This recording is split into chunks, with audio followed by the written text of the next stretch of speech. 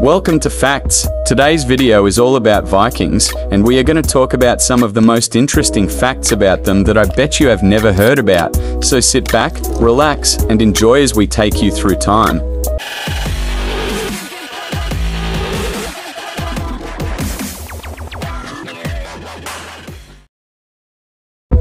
Vikings were a force to be reckoned with when they still roamed the earth. Despite their aggressive nature, the Vikings were also tender and caring beings who cared much for themselves and also have other attributes that opposes the brutal and aggressive stereotype that they have been given.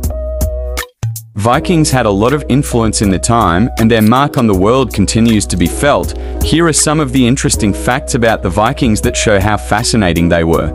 Just as the popular saying goes, all work and no play makes Jack a dull boy, the first fact we are going to look at is, despite the aggressive nature of the Vikings, they took time out to play, make jokes and merry. They would often celebrate achievements by throwing parties. The second fact we are going to take a look at is Vikings used urine to start fires. They would boil tinder fungus in human urine for a few days. The resulting product would then be used to light fires.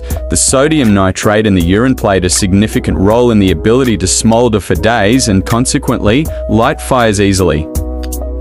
Before we continue, we plead with you to use this moment to support us by subscribing to our YouTube channel and also turn on post notification. You should also connect with us by following us on TikTok, Facebook, and Instagram through the links in the description or via the handles we inscribed in. Images, remember to like, comment, and share our contents. We really appreciate your support.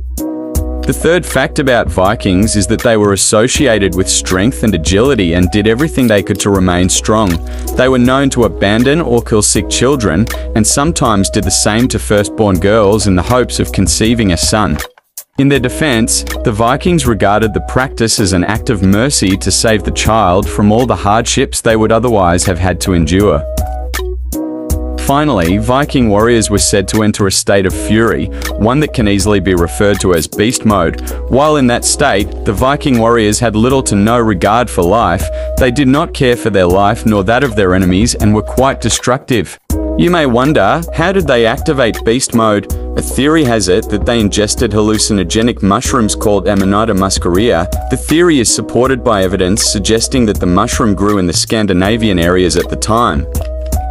Thanks for watching, and don't forget to subscribe.